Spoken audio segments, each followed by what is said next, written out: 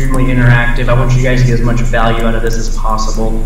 Um, and by the way, um, Cole, please feel free to cut me off if we go long. How, how much time would you like to speak today? You've got, um, I'd say keep it under an hour. You'll be good. An hour. I'm going to try to keep this to about 45, and if we go a little bit longer, that's fine. And again, I want to make this interactive. I want to do Q&A. It's important. So um, I'm going to ask a question because it's kind of my mindset when I was a freshman. Show of hands, how many of you went to school for your degrees to become a computer engineer or something similar? Show of hands. Like when I started school, I was that. Okay, if not computer engineering related, what, what other what other professions are you guys all thinking about? Just go ahead and kind of shout them out. I switched from the doctor of pharmacy program to computer science, so I did just did a complete flip. Okay. Who else who didn't raise their hand? What, what other kind of careers are you guys thinking about? More of the security side with software. The software engineering. Okay. okay. And Ms. Double Major with the finance computer background, what are you thinking of for career? Same as him. Well, I'm actually thinking about um, is investment banking, but if that doesn't work out, then um, anything with computers, cool with it. Okay, okay. I like the uh, the uh, interesting take on that. So here's why I asked the question. Um, just for context, you know, I, I've always loved computers. You know, I was always good with computers. It's probably a common statement for a, a good majority of people that get into it. Is like, hey, I like computers. I can do something with that, I'll go be a, a computer engineer, whatever that means. And I bring that out there because this room's actually got a nice mix. But um, you know, the, the degree. Uh, I don't want to say it's irrelevant, but man, it's just such a starting point. It, computer science, computer engineering, um, cybersecurity, you know, electrical engineering, whatever, whatever that degree title is. And, and I, I, feel like the career counselors I spoke with at Iowa State were good, but didn't harp on me as a student enough that that's a microcosm of a huge career track. We could talk about being a business analyst, you know, when you said finance computer science degree, my mind instantly went to, oh, she could be a, you know, a consultant at Accenture and doing financial software consulting for a financial organization, right? Um, you can get into project management, you can get into cybersecurity, you can get into leadership as a director of engineering and career path. You can get into, you know, testing or SDET work or DevOps. So one of the things I really want to impart today is as we go through how to start your career is um, if Iowa State hasn't already done this, I would highly recommend you take a personality test, um, an AIP, um, and again, um, the whole idea is if uh, with our personas, we can be predisposed to be better at certain areas than others. I found out very quickly in my degree that um, I was an outlier um, in that you know, I was probably one of the less than 10% that was extremely social, almost to a fault. Um, wasn't nearly as analytical to have an engineering mindset and have the perfection of like I want to get every little detail right and like being a heads down programmer. I did it for four years. Ultimately, I didn't really enjoy it. I could do it, but I didn't enjoy it. And if I had more career counsel early on, man, Chris, what about your writing skills can really translate to being a business analyst or a project manager or a technical writer even? um, it might have opened a lot of different and unique doors than what I thought my degree could offer. And so, just one thing I want you guys to think about as you ask questions today is think about, you know, doing some real good research on, you know, this one degree I'm looking at. What are the multitudes of position types that I could go after based on my degree? It's not, at least from my standpoint as a former student, it's not nearly as narrow as you may think. So, go ahead, question, yeah. So, with that in mind, if you were to go back to Iowa State and do it again, would you do the same degree but pursue a different career path or do a different degree? That is such an excellent question. And I've actually often thought about it. Um, my knee jerk is I would get the same degree. Um, this is a knee jerk. Only because in my profession, so I fell into technical recruiting uh, in 2006. I quite literally fell into it. No one goes to school to be a tech recruiter, right? And turns out technical recruiting at its best is really multidisciplinary. Um, it's a sales position. It is a technology position in that I have to understand people's technical backgrounds. I have to qualify clients' demands. If they say, I need to hire a, an embedded software engineer, I have to have that tribal knowledge. Say, oh, embedded, okay. What's your technology stack? You do C++ and Linux. You guys are on the Windows side. You know, what uh, what core technologies are really important to you guys? Was Python shop? So the engineering degree afforded me domain expertise um, and get my career started as an engineer so that I could ask um, appropriate questions. Um, if, if, I'm really pragmatic about it or, or, really put a finer point on it, I probably would have been best served in an MIS degree to blend business and tech. If I had known I was going to be, you know, a technology recruiting, you know, I got my own firm now and everything, having some business sense to go along with my engineering, for me personally, would have probably been a more natural fit. Um, quite frankly, I probably done a little better at my degree program as well. I kind of struggled and had to really fight to get, to get my degree and all that. Um, but yeah, it's a good question. I mean, the, the good news is that, man, once you get that degree and you've had your first job, no one's going to ask you about GPA. No one's going to ask you about, you know, anything that's germane other than, you know, kind of how are you qualified for the position.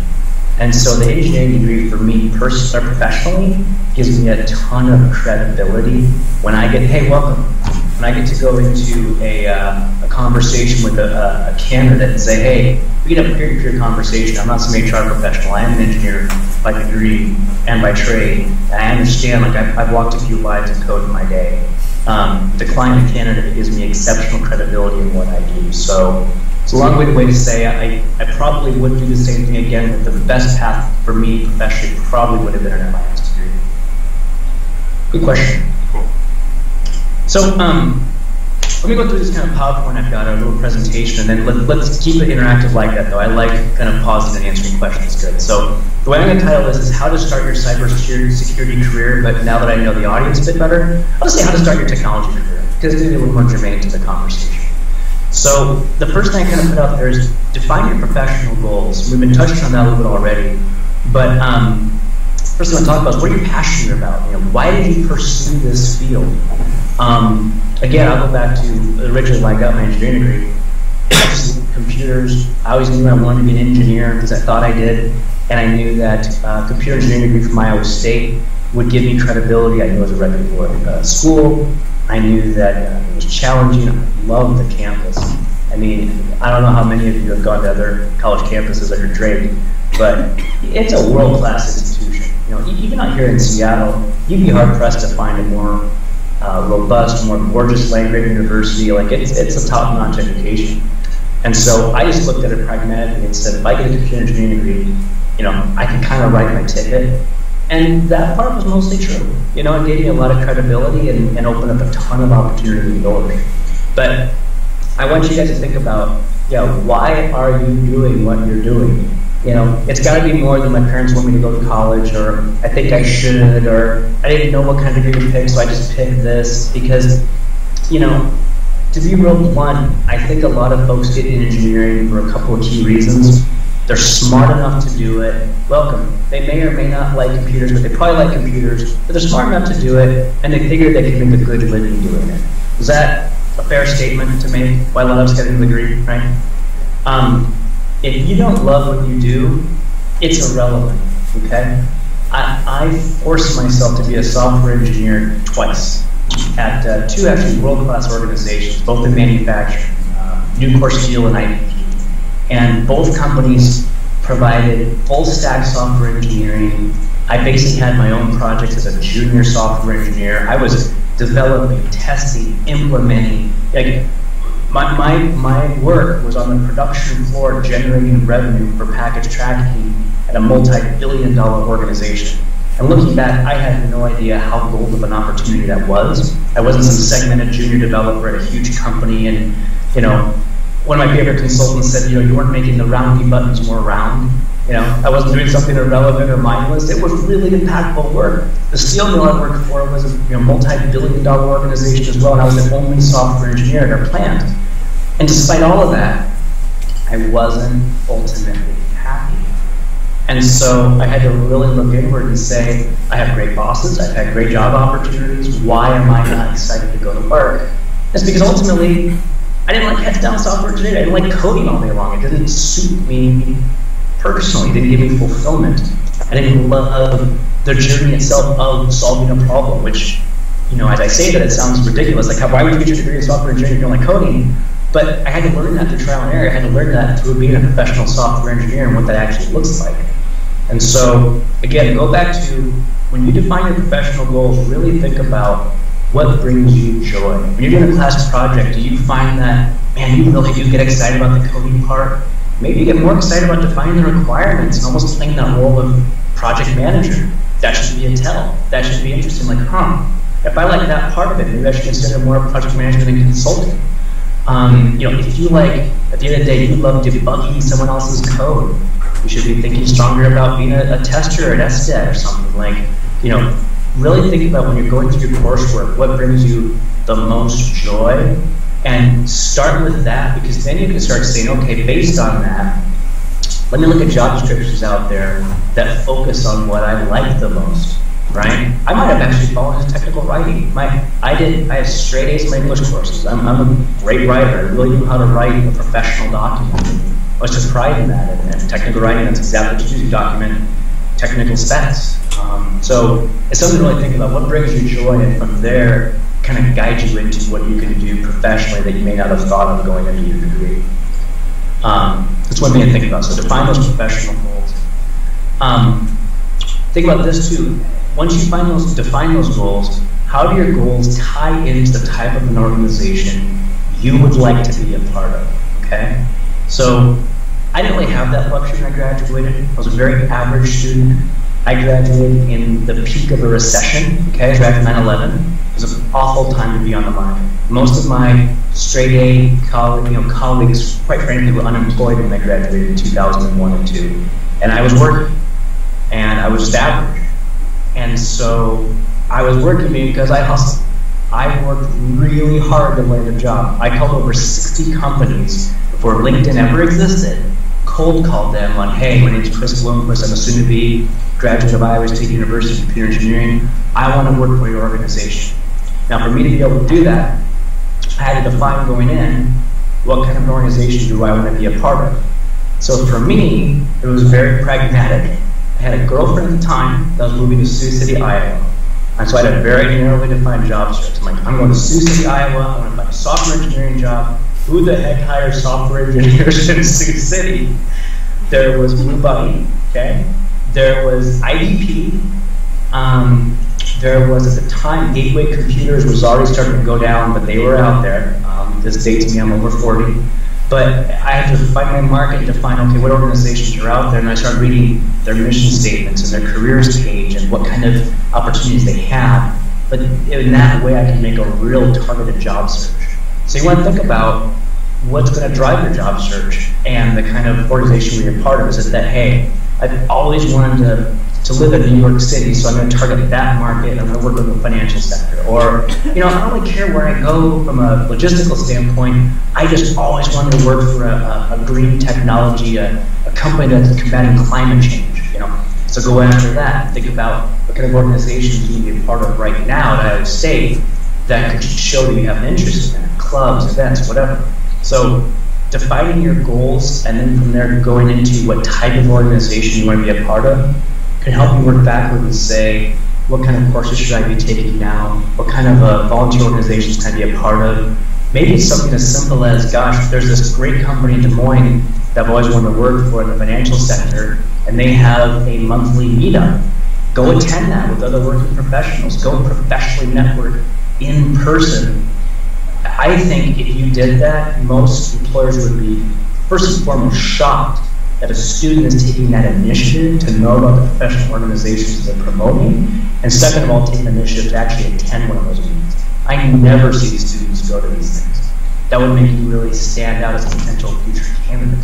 Even now, as a freshman or a sophomore, getting those connections now, think about how invaluable that would be if you meet a software engineer in a company to work at that's nearby that in three years is now the dev manager and you're graduating and you have a relationship from three years spanning that time, that's really taking your career in your own hands and driving it, making a strategic investment in it.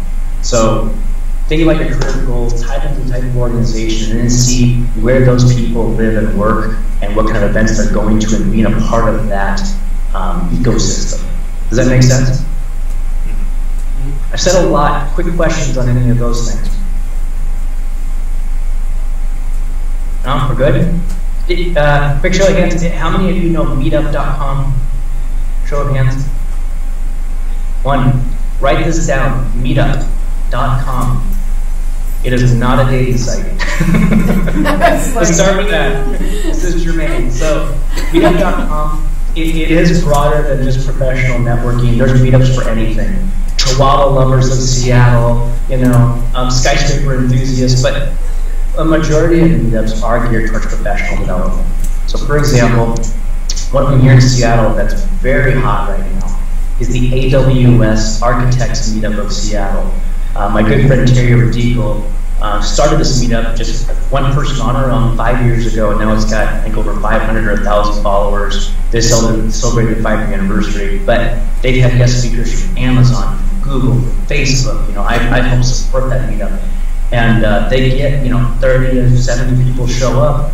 They're all professionals in their in their trades. Some of them are hiring managers, and they're all talking about the latest and greatest AWS technology. And so it not only keeps you know professionals up with their craft and what are the latest trends, but it's also great professional networking. It's like, oh, Sally, nice to see you again. Oh, I heard you changed jobs to WatchGuard. What's it like there? I've wanted to work at WatchGuard. So it, it really helps you be plugged in and I guarantee you in the Des Moines area, there's, there's probably some relevant meetups, maybe even Ames too, but uh, worth exploring. You know, meetup.com and look up things like cybersecurity or cloud technology or even embedded, whatever your passion is. Maybe it's financial software consulting, you mentioned the finance part of it. But um, go, go, to those meetups. Don't just sign up, but go and attend them and start getting into that, plug into that professional community. Um, you know, one thing that I did um, write specific to cybersecurity, but I'll make it a broader point. I wrote down how important is cybersecurity to the company. Um, I'll, I'll, make that a broader question, which would be how important is the uh, position you're applying for to that organization. And here's what I mean by that. When I was a software engineer at Tyson Chicken now, or IBP now Tyson Chicken, um, at the end of the day, they're a meat producer, right? Uh, beef, you know, uh, pork, chicken, like they, they their goods are, are nothing to do with you know software per se. They sell food, protein. Um, however, the software engineering department was fairly vital to the organization because we did product tracking, um, we did inventory. Like there was still a fair amount of revenue generation that happened via software. And so I would argue that even though I was at a non-software company, software was fairly core to the organization's success and uh, had a large you know, IT and software department. Um, Nucor Steel, very different. Uh, it was completely manufacturing. They're making steel. Um, yes, they used some level of technology to track inventory, things like that, but there wasn't nearly the focus as my prior organization. And as such, I was my position was much less important to the organization, right? It wasn't as vital to revenue generation. And I bring that up because you want to think about, you know, especially if you're getting into the, the uh, IT side of things, whether it be help desk, desktop support, uh, IT infrastructure. You know, if you're an IT manager at a law firm versus an IT manager at a software consulting firm, you better believe the compensation the whole package, the, the value to the organization at that software consultancy is probably a lot higher than the law firm. The law firm, they care about litigation. At the, at the you know, IT service provider, they care about the product is software. And so part of when you do your job search, not only do you want to identify what you're passionate about, what kind of organization you'd like to be a part of, but also how much do they value the position that you could possibly be going after. And you know, you don't want to be replaced. You don't want to be outsourced to, to uh, you know, third world country. I mean, that, that's a real world thing that happens regularly. And so you want to make sure that when you go to an organization that, hey, understand how many people are doing the same job I'm doing? You know, what's the vision for the IT organization? What's the revenue it generates? How important is my job to the bottom line business? Um, another really important thing to think about as it relates to cybersecurity in particular, I will tell you that cybersecurity is still not, it, it's hot, but it's not, people don't view it as something you have to have, which is crazy to say. But you know, Premera had a big hack a few years ago. Target, about four or five years ago, had a major hack, a data breach. You know, Facebook, all these big organizations have had data breaches, and those organizations had very much kind of reactively said, okay, we're going to hire a bunch of cybersecurity professionals because we have a problem. But cybersecurity in particular is one of those where if it's not broken, don't fix it, unfortunately. And I feel like a lot of organizations don't necessarily proactively invest in cybersecurity until they've had um, a breach. And so um, I, I, put that as a bullet point just because again, you want to make sure you understand how valuable your role is to the organization, how much is it a priority to have your position at that company. Does that make sense? Yeah. Excellent. Um, job search tools. I'm gonna I'm gonna give you a few, but then I'm gonna ask kind of the class what you guys have seen out there because in the you know 15, 20 years since I graduated, this has changed dramatically. So um, I just give a, a general list. So the ISU Career Center, you know, obviously, show of hands, how many people have gone to the um, uh, the annual uh, career career events at the Hilton Career Fair, Engineering Fair? Excellent. Keep that up. Even as a freshman, if you're not ready for internship, go because you're going to learn how does it work. I will tell you again, you don't know how good you have it. Most universities don't have nearly the career fair that Iowa State puts on. Even the University of Washington, world-class organization, they're borderline lazy. They don't have anything like what Iowa State puts out. They, they don't do it. They, they just figure, oh, they're going to get their degree and they'll be smart and they'll figure it out. And they don't support engineering the way Iowa State does. So really take advantage of that. Um, I found that I would go every year, whether I was on the market yet or not, because some of the same people from the same companies would keep coming back. I say I saw the same guy from Alcoa three years in a row, and by the time I'm a senior, he would remember me. He said, "Oh, Chris, good to see you again. Now you're graduating. Let's have a conversation." Um, so I, I started getting interviews that way because I built relationships with these recruiters or these hiring managers years before I was ready for internships before graduating. So that that definitely helped my job search. Keep doing it, and I would say. Um, really don't just go, but really prepare in advance. You know, make a list of the top 10 companies that you have to see. Make the rounds, you know. Um, have all your resumes printed out, ready to go. I'm sure many of you, like this is, you know, is obvious, especially for you freshmen. Like, treat, treat it like it's game time, because it is. That's a golden opportunity people in person. And I will tell you, that personal connection is so valuable when you go for a job search because now you're top of the pile. Like, oh, I remember Sally. She was really sharp. Yeah, I should, I should have a conversation with her. Right? You start separating your resume from the pack. And so uh, keep building those relationships and make it a point. This is something I didn't do necessarily. Is follow up after the career fair, a week or so afterwards. Give them a little time to get back to their careers. Hey, Mr. Kakali, it was such a pleasure meeting you. I learned a lot about Alcoa today and what you guys represent in your organization. You know, I'm really looking forward to continuing our conversation as I go into my career and my graduation date is this date. And uh, let me know when it makes sense to follow through the future conversation or learn more about your organization. Like something really tight and professional that shows that you're uniquely interested in that person at that organization. Um, to that end, how many of you have a LinkedIn page? Show of hands. LinkedIn? How many of you know what LinkedIn is? Yeah, that's better.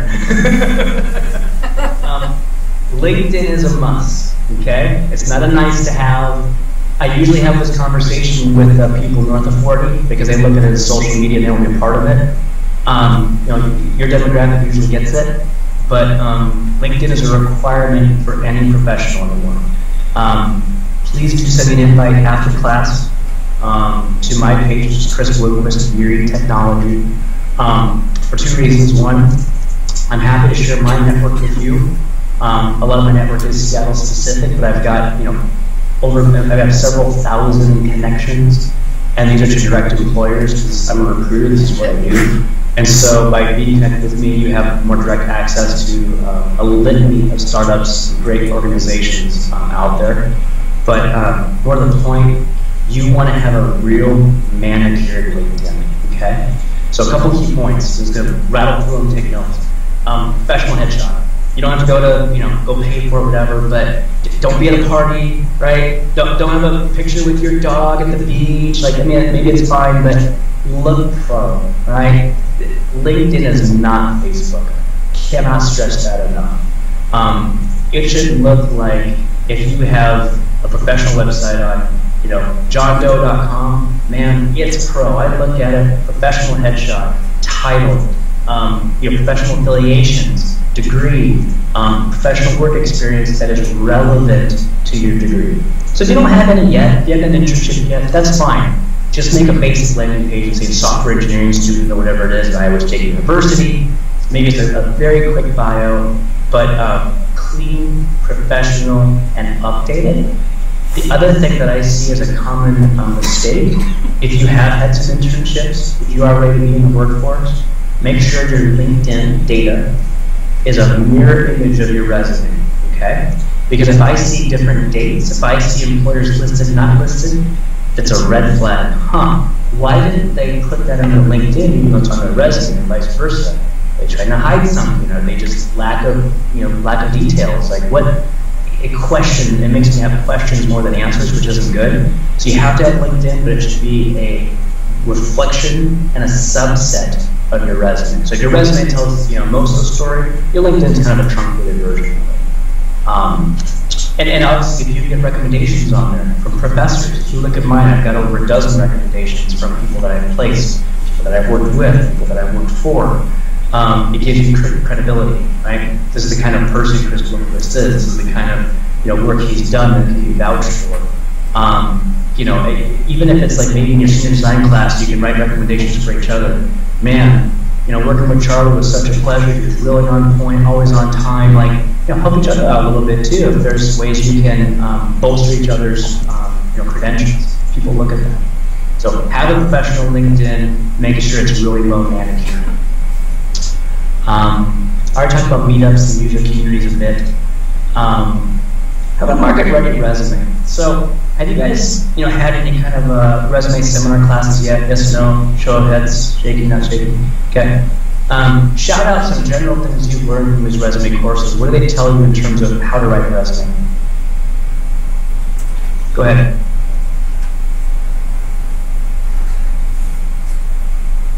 They really harp on, on uh, having an objective statement. An objective? Yeah. What else? Same font throughout, uh, clean, neat, lined up, headers, skills at the top.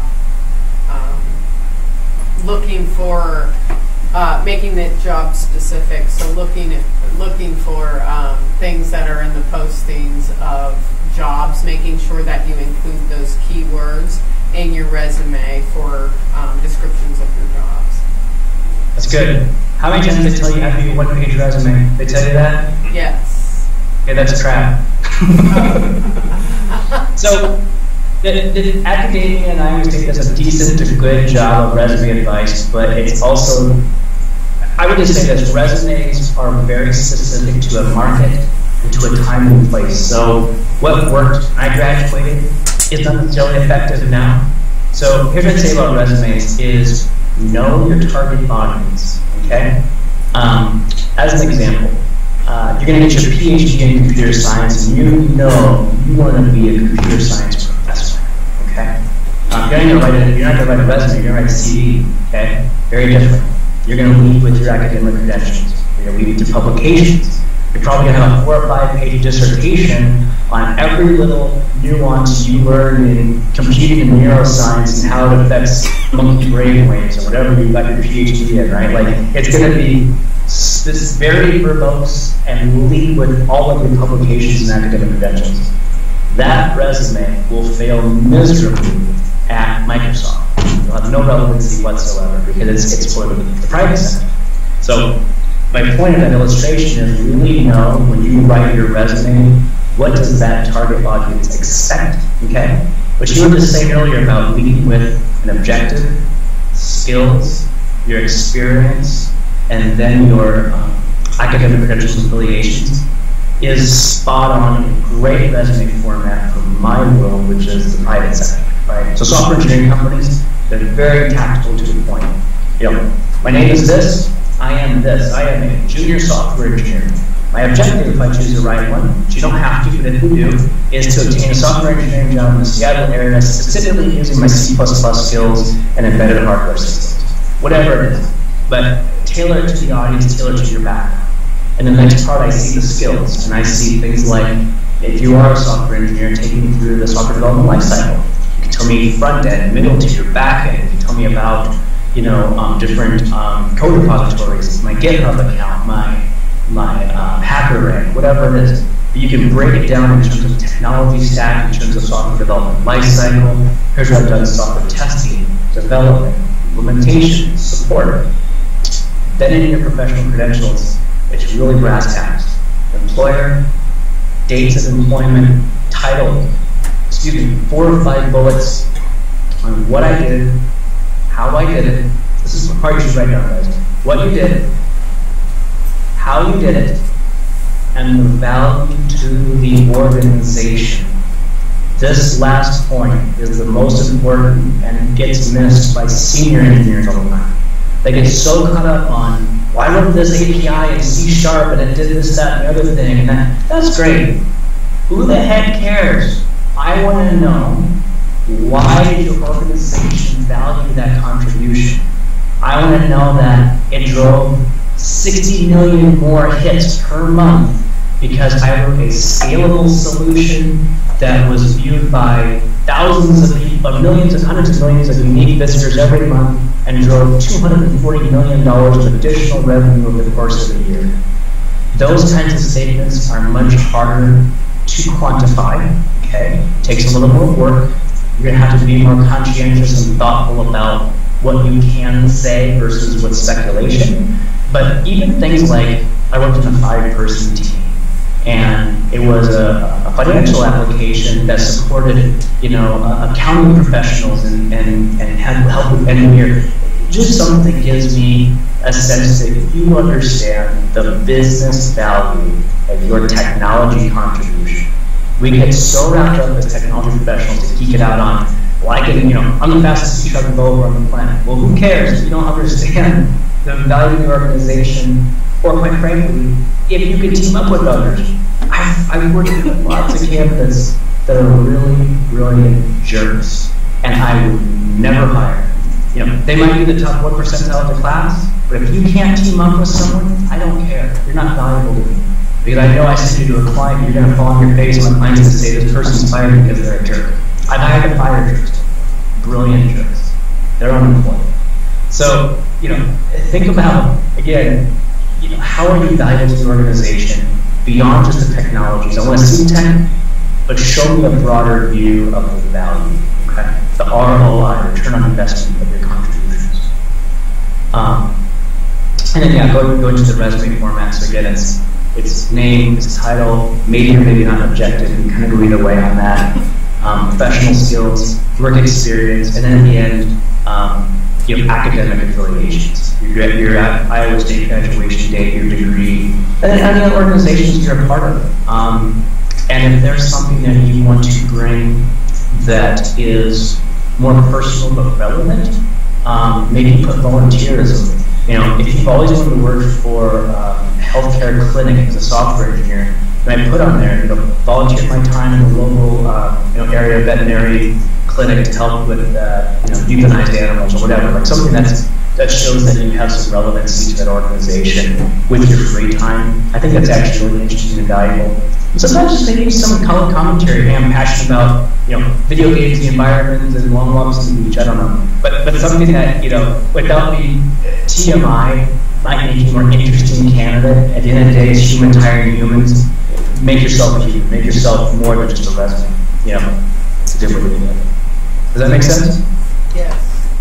And if you have to tell that story in two pages, it's two pages. That's okay. Yeah, go ahead. How would you do it for like a non-traditional student? So I'm older, obviously, than everybody else in the room. So, I so I have like 15 years of work experience at the same company, and I decided Yeah. to just switch and change. So I have no work experience in the field I'm going into, none. So how do you like? I don't know how to transition those skills. I have a lot of soft skills that are great, but I don't have any Non-traditional on-the-job resume. technical skills. Good news first. Um, the average adult has about a half dozen career changes. A half dozen in a lifetime. So it happens all the time. It obviously can be done. I would say you want to, knowing that you've had a full career uh, before, you definitely want to highlight it without overemphasizing it. Um, keep it high points. You know, I was a controller for this organization, handle financials, reporting, whatever. Um, couple quick bullets, but then you focus on most recent, like maybe academic projects, your PhD program, your thesis, whatever it is. So I wanted to know that you've had that career. I'm working with a real interesting gentleman right now, his name's Bob. Bob, um, I'm just making it up. So Bob is a local guy. Uh, He's five years away from retirement. He was a patent attorney for over 20 years. He got both his bachelor's and his master's from MIT. Bob is brilliant. Bob is one of the nicest, humblest guys you'd ever meet. And he's reinventing himself and just getting his new CS degree from UW Bothell and trying to become a junior software engineer. Now, it's crazy. He's been a patent attorney. He's probably making well over two or three hundred thousand dollars a year. He's had a whole career behind him, and now I'm trying to be a junior dev making seventy k a year just because he wants to have fun and to not dip into retirement. So, you know, part of it is I think it takes a little more of a unique resume. So I've had him focus on I have this career, but here's all my here's my GitHub, here's my class projects, and part of it is you know he's got a good recruiter. I'm his advocate. Um, I've been calling companies directly to say, look, let me tell you about, um, you're going to get the resume, but let me tell you why he would be such an asset to your organization. And so um, I think it takes a little more creativity. I would highly recommend that you build professional relationships, and this is advice for everyone in the room. Build professional relationships with internal technical recruiters or internal recruiters at an organization. So on LinkedIn, you can look up recruiter Microsoft, recruiter Boeing, whatever it is, and you can start seeing, okay, these are the people that are actually the gatekeepers, right? These are the people that I want to start getting to know, and I would send them a LinkedIn invite. Let's talk about that for a minute. When you send invites, make sure they are manicured. When I get a random LinkedIn invite, this class aside, okay, because you guys send me invites, I'll accept. But If I don't know you, ignore, ignore, ignore, ignore. My network's valuable. The moment I accept that LinkedIn invite, I'm saying to that person, hey, go ahead and utilize, possibly exploit my professional network. You know, I've got thousands, literally thousands of tech recruiter competitors just in my market, and they would love for me to share my network with them. That's a one, that's taking from me, okay? So I don't do it. I tell them to pound sand, ignore, ignore, ignore, ignore, okay? I don't know you, forget it. If I get a manicured LinkedIn message, hello Chris, my name is Sawat. I'm a you know soon-to-be graduate of, of Iowa State University, and I'm hoping to move to Seattle in 2020. I'd love to connect with you. Accept. Happy to do it. Happy to have a conversation. Probably. So build those relationships, but send a targeted professional message. Think about if you're the recipient, would you hit accept? Right? Hey, I'm sending you a, a message, Mr. and Mr. Recruiter, because I would love to learn more about your organization. Do you have five minutes to chat? And LinkedIn, you don't get a whole lot of room to send these messages, so you gotta make it really punchy. But hey, if I, if I saw that, okay, I'm gonna hit accept, I'm game. So build these connections, but be really mindful of it, and be really managed with your messaging, okay? Um, Thank you. as we talk about LinkedIn, we talk about resume best practices. Boy, time's flying here. Um, uh, I wrote something about interview preparation. Um, I'm going to give you some quick bullets. Cole, is this pres- is my are my notes presented up there, or should I just go through it? Yeah, I'll just go through. it. I don't see anything. Okay, that's fine. So take notes on this. Interview preparation, okay? So um, tell you what, I'll send Cole an email, but here's the quick highlights. Um, first of all, research, okay? If someone's going to take the time to give you an interview, you need to take and really invest the time to make it worth their while, okay? You should go to the careers page. You should know the values page. You should know about the founders. You should know about when the company was founded, how much revenue, who the competitors are, like why are they hiring? Do your homework. Make them show, show them that this is a special opportunity for you. It's your top priority. I don't care if you're oh a 4.0 GPA and you've got 10 of the interviews lined up. You need to treat every potential opportunity like it's the best one because it's the one in front of you right now. Okay? So really take that seriously. Do your homework. And then info drop. You know, right when I got my foot in the door at IBP, I showed that, you know, I do my research on what the revenue is per year, who the competitors are, what their market's like. I had questions about what their vision was for the organization. Like, I came to play ball. I knew that company and I showed unique interest in them. And so you want to make sure you really do your homework at that level. Um, read the job description. Make sure you reflect your studies, your coursework, to what they're asking. If their top three bullets in their job description, and they usually go in order of importance, are I need someone with C Sharp, Python, and HTML. Boy, the first thing I'm talking about is, by the way, let me tell you about my uh, my senior design project where I got to utilize C Sharp, HTML, and, and JavaScript in my in my in my application. To make it uniquely relevant to what they want. Okay. Um, know what kind of interview it's going to be. Um, there's a lot of whiteboards out. Interviews are going to be extremely technical. They're going to go into Fibonacci sequences. They're going to go into big notation, polymorphism on your computer science 201, 301 coursework, they're going to hammer you on that. Ask them if that's going to be part of, of the interview. Some are behavioral, completely different. Um, situation, task, action, result. Write this down. STAR method. Situation, task, action, and result. So it's like the, the way to describe that kind of a behavioral interview is you know, so I developed this embedded software um, for IBP. Um, what the task was to create a product tracking system using embedded C.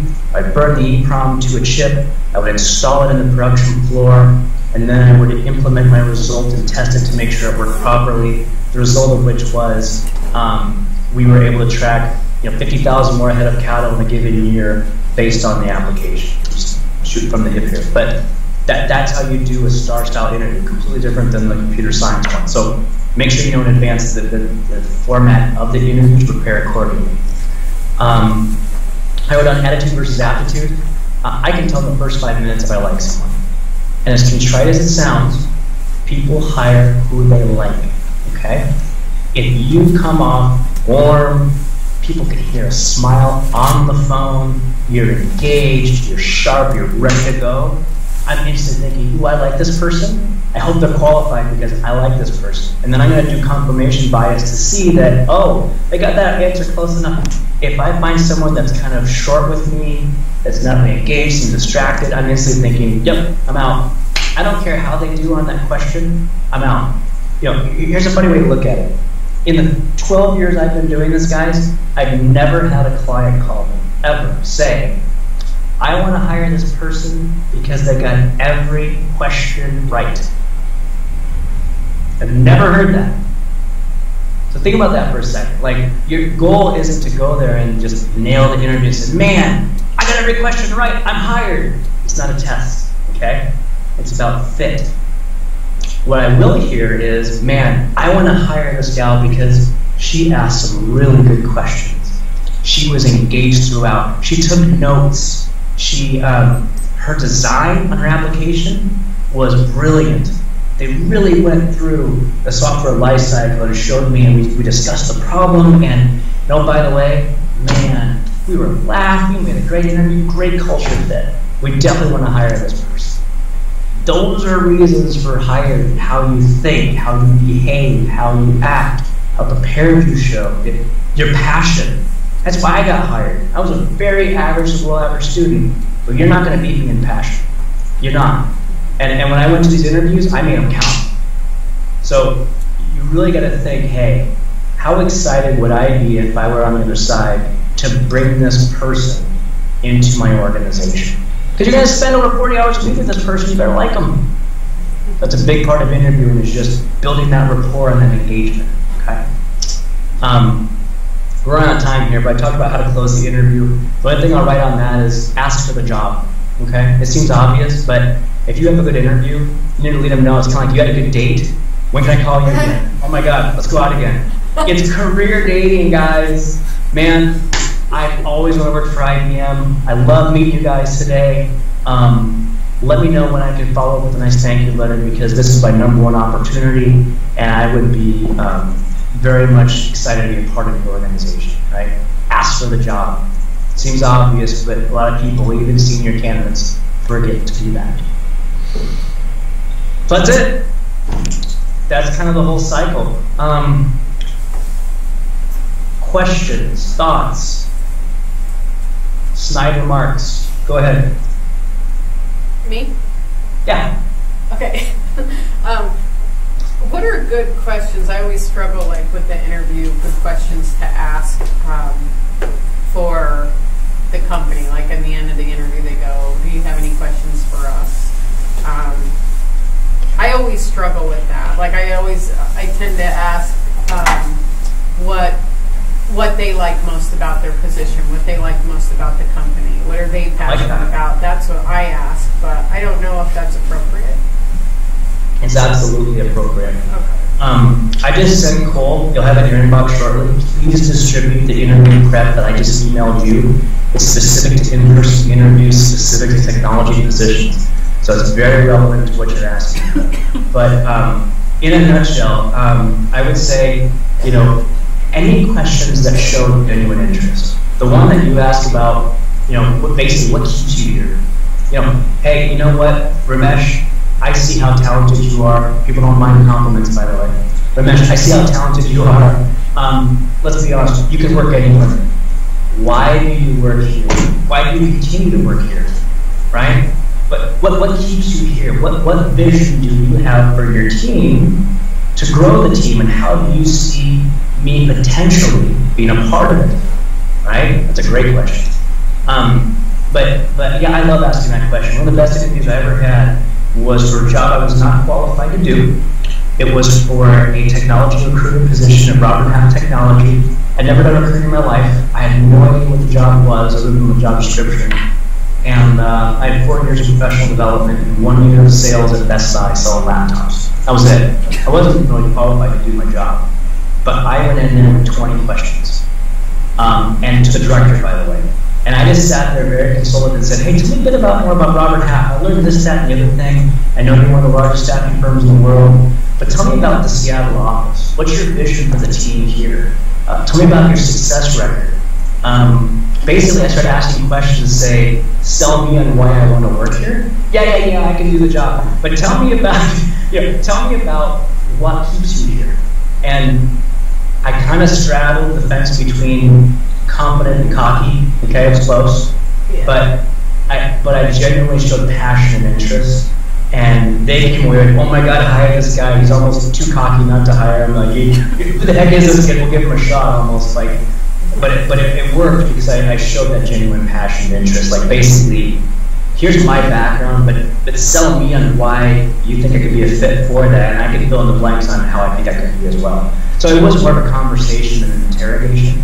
But um, yeah, um, let me give you some other. I didn't. That's a long-winded answer. So let me give you a short-winded version. So um, yeah, why is the position open? Um, a great one. Uh, what what traits do the most successful people have in your organization? What common traits? Right? That's a big indicator. If, if, if the manager goes straight to, well, we are the best C sharp people in the world, okay, they're really tactical and practical. There's one people that are really good coders, probably not going to say that. They're probably going to say things like, man, you know, when we do our agile and scrum scrums, like people are really vocal about their ideas. We want a lot of interaction. Or we're big on paired programming. If you're not a real social person and don't like sharing the keyboard, then you're not going to work here. Or, you know what, we are all about our mission. We are trying to do our best to solve world hunger. And so compensation be damned software be damned. That's our core mission. And our software engineers have to understand that they're part of a bigger mission. So you have to kind of ask those questions and then you'll get answers that you can go back and say, oh, Mr. Mrs. Hiring Manager, that's really interesting. I've actually done work similar to that here, here, and here, or that's a passion of mine as well. I love getting into, you know, a machine learning, and I'm glad you guys are machine learning too. Here's some projects I've done. So asking them what they value and who the most successful people are there, you can come back with, this is how I resemble that work, right? This is how I resemble what you're looking for. This is how I'm more qualified based on. Um, a little bit humdinger questions. Um, go ahead. Um, the other one I struggle with is when people say, "Tell me about yourself." I mean, what's the timeline? What you know what I'm saying? Like, what do you want to know? Well, I don't know how to answer that. That's a very difficult question, especially if you don't like talking about yourself. I would say this: the moment you're talking about your neighbor's cat, you, you're kind of off the reservation, right? So, um, the best answers be someone curious but they're on point. Um, tell myself, you know, here you go. I like answer that question. Well, that's a great question. Um, let me just say from a professional standpoint, um, I have a technical recruitment firm in technology. I've, I've, had this firm for over four years. Uh, I've been tech recruiting for over 12. And I got to tell you, the reason I do what I do is I love what I do. I get to make an impact in people's lives professionally and personally. Um, I know that um, I've had a lot of successes in my career. Companies have, have won accolades like the 500 um, and things of that nature. Um, I've been a top fifth percentile recruiter in my organizations. I'm very proud of that performance. I've had to work hard to get there. Um, so I, I, love what I do, and I think the results speak for themselves with my professional references, which I'm happy to provide. From a personal standpoint, um, I have a lot of interests. Um, I'm a Lego enthusiast. Uh, I have two young daughters, ages six and eight, so I'm a, a husband and a father. I also do, um, I'm an assistant minister in my church, and so I try to give back to uh, both the technology community and uh, the spiritual community as well. And so, um, yeah, I try to live a well-rounded life. How does that sound? Really great. Interesting, right? yeah. And, and, and I, my own style doesn't work for everyone, but I try to let people in a little bit. Um, I make it somewhat personal without going, you know, too deep in the woods. Right. Um, but enough where it's like I just said enough where I probably talk about a half dozen interests in a matter of two minutes, and it, might, it might pique some people's interest or others. You know, if I said that an organization that um, is uh, you know, the Atheists of America, which by the way, my best friend's an atheist. But if I said that to the atheists of America, they might instantly reject me because, oh, he's a Christian and he's, he's a, you know, I don't know if he can fit in my organization. That's okay. You know, if I said something that triggered an employer to not want to hire me, you know what? I may not want to work that organization anyway. So I don't mind doing a little bit of personal in there because it's either gonna it's gonna draw the right people in and probably push the, the right people away as well. Good point. Thank you. Yeah. Go ahead. Yeah, I got, I got, I got two for you. Um, what would be one thing that you would try to say between like choosing person A and person B, both are qualified? What makes um, what distinguishes one from the other? Is it just who you want to work with more? Is it who just displays their their traits? Communication skills. Communication skills, because I, I, I can tell, and to be specific, keeping a conversation on point. Um, when you asked a direct question, you want to have some direct answers. This is what I did. This is how I did it. This was the result. Have a good night. Um, and and did that work out, right? Um, you know, as opposed to if I ask a question and 20 minutes later we're, we're completely talking about something off topic, like that's going to be someone that's kind of distracted and can't focus. Especially as an engineer, I'm going to be kind of worried that they can I just keep the task at hand. So having succinct, crisp, thoughtful answers. Um, the other distinguishing factor, though, I want to hear really great questions. Because if you don't have questions, it just shows you didn't care. You didn't care enough to take the time, premeditated, to write them down and do your homework. Um, there's a saying that goes, the person that's asking the questions is driving the conversation. Okay? So you think about that. Like when you're getting interviewed, intrinsically, the interviewer wants to start the conversation. They have their questions ready. They're going to go in there and they're going to ask you questions. But to make it a balanced conversation, you want to have a half dozen questions or more. And it turns the table. And it makes everything. And it shows interest. And so, you know, going back to the original part about God, what questions do I ask? I hate to say this, but it's not irrelevant, but it's less relevant about exactly what questions, as long as they're tactful and professional. It's more about that you have some that are relevant, right? Um, it just shows that you put care and thought going into that conversation, which shows genuine interest in the job. So, to get the answer to your question, you know, I'm gonna, I'm gonna, if it's, if it's close and two qualified candidates, I want to see the one that communicates the best and shows genuinely the most interest in the position. That's not just a job for them, but something that they want to be a part of because I know that they'll stay and work hard and do well. At least you hope so. Good question. Yeah, my second one is, uh, what was your what was your uh, link, like what was your information again to contact you? Oh, sure. Um, I tell you what, uh, I can say it, but Cole, do you want me to just email it and you can send it out? Yeah, I can send it to them. Yeah, by all means, it's on my signature too, but uh, if you just look at my company, it says Viri Technology, V-I-R-I, V as in Victor, I-R-I technology.com. Um, my direct email is chris at, up you know, half dozen people, it's a startup, you find me pretty easily. but, uh, but yeah, my, my information, if you check me on LinkedIn as well, you'll have my contact information for future reference. Yeah, thanks for asking. Anything else? Sorry. Uh, you mentioned something about um, uh, one of the things that you notice is in an interview if people are writing things down. So would you suggest uh, bringing in a pencil or a pen and paper and doing that during an Multiple interview? copies of your resume, pen and paper, half dozen questions or more written down, premeditated before the interview. Okay. Um, absolutely. Bring it in. Uh, know, know the culture of the company though. Um, the difference from going to Accenture, a, a multi-billion dollar consultancy interviewing in New York, versus a, you know, a five-person startup in Seattle, very different interview process. The way you would dress for the, the one in New York, you're gonna wear a full suit, you're gonna be grilled for probably eight hours, to be very behavioral based. You go to the startup in Seattle and you wear a suit, they're gonna laugh you out of the room. Like, who is this kid? Like, dude, we're all in t-shirts and jeans, and I got a Death Metal Metallica shirt. Like, you know, you, you really want to know the vibe and the culture of the organization so that you dress appropriately, you behave appropriately, match that organization behaviorally.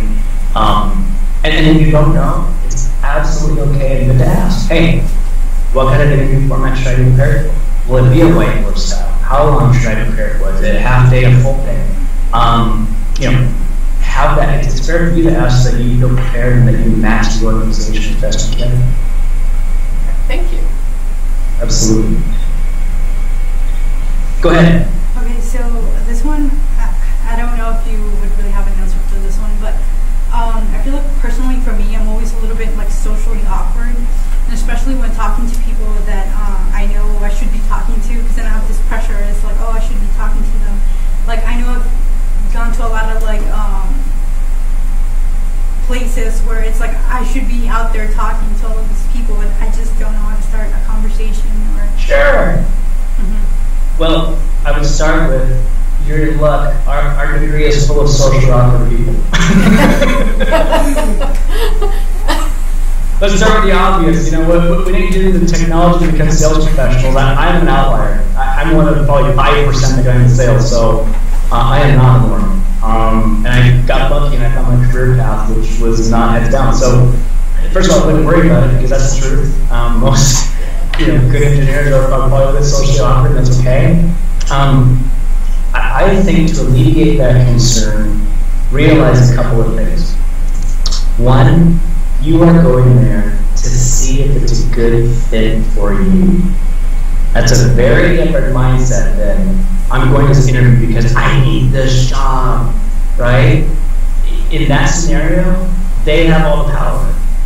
In the scenario of, hey, I'm going to evaluate if this is a good fit for me, now I have the power. Now I'm driving. I'm driving my career path, my decision making. You know, it, the good news is, if you get an offer, you don't have to take it.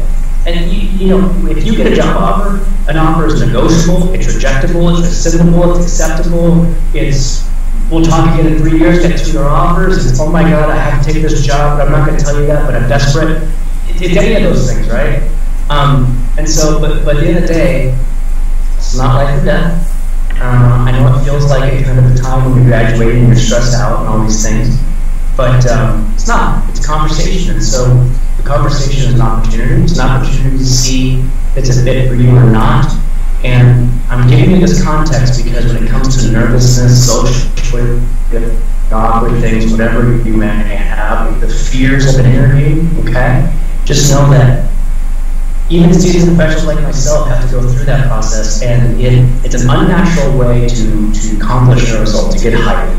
And so if you lead with, I'm just going to go there to evaluate and ask questions and see for myself, but truly from your heart, show professional interest, a lot of that stress of having to prove yourself is certainly dampened, right? That you, you really, if you come with, man, I am so excited and energized, and these are the reasons why I'm excited about this particular role and your team, you know, that kind of passion is contagious and can quite honestly overcome um, any possible inadequacies when it comes to, gosh, you know, I didn't quite say the right thing the right way. I mean, you know, if, if you show a goodness and, a, and a, um, an interest and a passion, people can see that, right? And, and, and the other to realize you're not, you're not interviewing for a professional speaking engagement. You're not being evaluated on that. You're being evaluated on your skills and your fit for the team, right? So, yeah, you had to, you know, do a speaking engagement for hundreds of people, then maybe you, your communication skills are, are more important. But in the day, you're hired for a skill and a role, and just show interest and passion and qualification. Leave it at that. And if you don't get it, you don't get it. So what? You know, one door closes, the next one opens. I'll uh, give you a quick story because it's true. So I was, uh, I graduated Iowa State. I got my job at, uh, at Tyson Chicken, and it was a good job, and it was in Sioux City, and it all worked out because my girlfriend became my wife for 15 years, and kumbaya, it all worked out. But a year after I got the job, uh, you know, I was at the job when 9/11 happened. Okay, and so it went from being a tough market to being an incredibly tough market.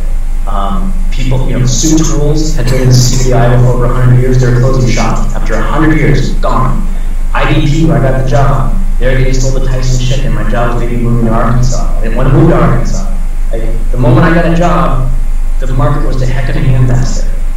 And so I said, screw it. Um, my best friend Ben, who, who is now an executive at Boeing, was a junior engineer at the time in Seattle. He said, hey, come out, bring your girlfriend, come out and visit Seattle, blah, blah, blah. So, you know, our jobs are in flux. We might be unemployed a year after we graduated. Came out to Seattle, fell in love with the place. I came back to my desk the next Monday, and I walked up to my boss and said, Donnie, real, but I'm going to give my two weeks notice. Um, really appreciate the opportunity. I said, what are you doing? Well, I'm moving to Seattle. And my coworkers at the time, and I still remember this, they said, well, how are you going to do that? Like, do you have a job there? I said, no well, are you going to work at Microsoft or something? I said, no. Well, what are you going to do? Like, how are you going to do that? I said, well, it's pretty easy. First, I put in my notice. then I get in my car. And I go to Seattle, like, do it. And, you know, it, it sounds stupid, but people have all these barriers of, like, I can't do this, I can't do that. That's bogus. We live in a free country, a free market. Do what you want. I moved to Seattle. I saved up $3,000, $4,000 at the time, which was a pittance.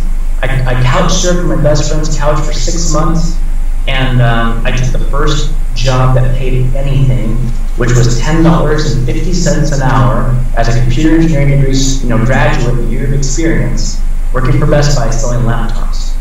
Now you look at that and say he's a computer engineer, has a year of experience, and he's making his starving wages. What the hell is he doing? I saw it as an opportunity because the moment I took that job, now I have professional sales experience. And I always thought, you know, I'm pretty social as an engineer. Maybe I'd be better in, in sales. So I was selling laptops, and I learned the sales process and how to read a, a, a potential buyer and things like that. And I almost got promoted when one day I came into work and I had to qualify the customer, and the customer's name was Doug. And I uh, said, oh, Doug, what brings you to the store? I'm going to buy laptops for my college-age kids. Oh, that's great. How old are they? Blah, blah, blah. So you're buying a laptop for a couple of your daughters. That's great. Hey, by the way, Doug, what do you do? Oh, I'm, I'm a, general manager at a steel mill. I said, Nucor Steel here in Seattle? Said, yeah. I said, Doug, my name's Chris Bloomquist. I've been calling you for the past year to get an interview with your organization. Nice to meet you.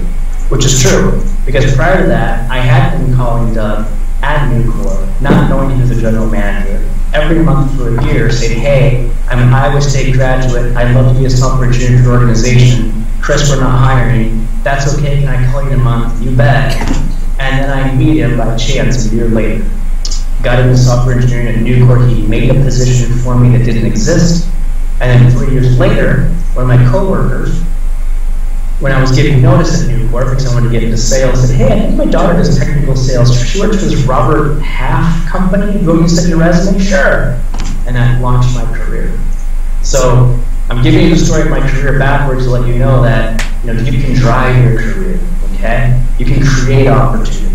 When one door closes, another one truly does open. That's how you have to look at it. And if I had never taken that $10, 50 cent an hour throwaway entry level sales job, I wouldn't have launched my career and have my own firm today. So you really have to look at it that way, that every every opportunity is, is just that and take advantage of it. That's a cool story. There's more my soapbox. Anything else? In the back, go ahead.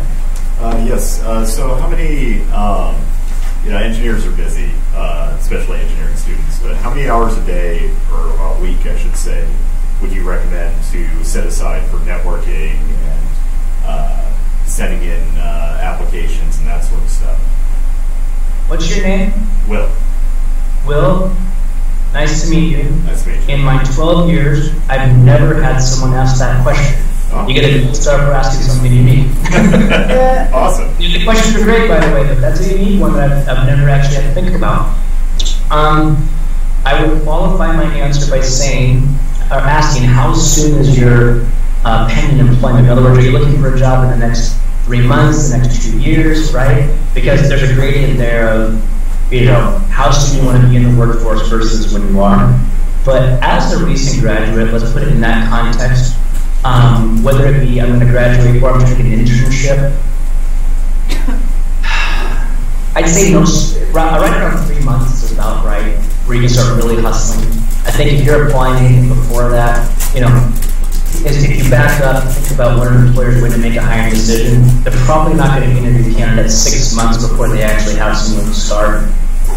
And there are exceptions to that rule. I know that Boeing as an employer, for example, will do a big hiring event when they come to Iowa State in the fall, and then they make offers in the spring. So I mean, there's exceptions to every rule.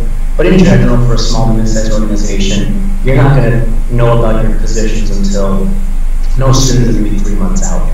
Um, but I would say, you know, ratchet it up based on that, but you can start with building the, the connection first. Maybe not applying that, but you're spending, you know, maybe you spend every pick, pick the cruddiest night of the week, a Monday night, right? Pick a night when you're not going to go out to, to Sips or Cy's for a drink, right? Let's be honest. I know it is. So pick a Monday or Tuesday night, so night we don't much going on for an hour, and just look up, you know, slowly go through a list of companies and make some quick LinkedIn connections. Make it professional, make it impactful. Hey, my name is John. I'm going to be graduating this fall. I'd love to learn more about your organization. Do you have the next, you know, do you have 10 minutes free in the next two weeks just for a basic chat?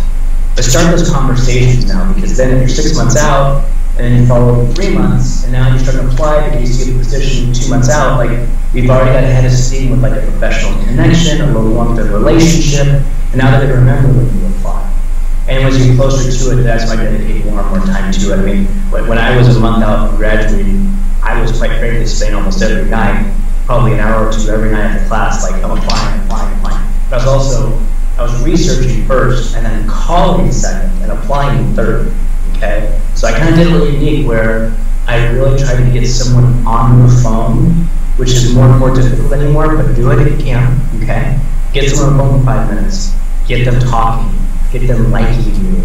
Get them then connected on LinkedIn. Then applying. Like if you can build those relationships, you're one step closer to landing a job. Right? Good question. And, and anything I just say is be, um, be methodical, schedule it. Um, Doug would be really smiling ear to ear right now, but different Doug, um, Iowa State Doug that I was, uh, I, I lived in a former house, and Doug was a, uh, a buddy of mine. He, he was uh, in the uh, ag, ag engineering, he was, he was vet med, he was vet. And Doug did his academic career right. Um, I would go to class and then, you know, screw around and do a little homework. He was regimented he would go to campus every day from 8 a.m. to 5 p.m., class no class, and all he did that time was study, go to the next class, study, homework, next class. And by 5 o'clock, done. I go to bars, I go have fun, but he treated his academic career like a job during workday. He's gonna have fun at night. And you know, looking back, God, that guy really he knew what the hell he was doing. He was really disciplined and scheduled, and he had a really good balanced Iowa State career. So think of it that way too. You know, if you you have something scheduled, when I when I'm at my work day, I have calendar invites come up, and they just tell me, "Oh, Cole, Iowa State, we're talking here in 15 minutes, and I'm Miami in advance." Like I don't have to think about it. I scheduled it, so I don't have to remember it, right? So just live by a routine, live by a schedule, and every step, you know, every you do it once a week, whatever it is, you're you're, you're getting this rhythm, and you feel good about it, you're making progress. Good question. I do have an appointment in T minus three minutes. Do we have any final questions? Just a comment, thank you for coming, and this was really valuable, like all, all of what you just Yeah. told me. My pleasure. Like I said, Cole. Uh, a round of applause to Cole, actually. Um, and, and I mean that because uh, I've wanted to do this for almost 15 years. It's the first time that someone from Iowa State actually reached out to me. And um, believe me when I say that I, um, I love my university. It's a great experience. Kudos for all of you for going there. Um, the Cyclone family is very tight knit. And so, the further you go away from Ames, just know that if you reach out to alumni, you're going to find that the more likely they are to want to connect with you because it, there is something about being a part of the Cyclone family, whether you realize it or not. And uh, the Alumni Organization of Seattle is an example 2,700 members. And I've met people from all walks of life that, um, that still love the university, even though we're thousands of miles away. So, you know, you guys are a part of something bigger than yourselves. Um, I'd be more than happy to, uh, you know, give back to Iowa State again and do this again. So, thank you very much for having me, and, and uh, I do invite all of you to, to connect with me on LinkedIn and stay in touch. Thank you. All right. Stay warm out there. Go Cyclones.